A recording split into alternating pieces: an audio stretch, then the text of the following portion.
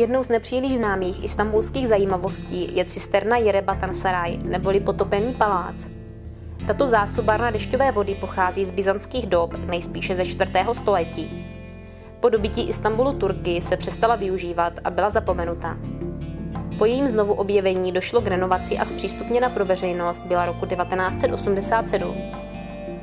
Klenbu cisterny podpírá 336 sloupů a na dvou z nich jsou vytesány hlavy medúzy.